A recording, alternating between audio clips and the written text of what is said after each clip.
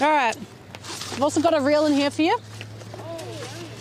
But yeah, there's uh, some fishing rigs in there and some fishing gloves, some some pliers, and um, and this is a custom fishing rod. Oh, yeah. So there you go. I'm the lucky. It's from uh, for the help from my sponsors, Mafix, Mafix and uh, Walkabout Brothers. Thank you. got the air and method. Enjoy. my pleasure.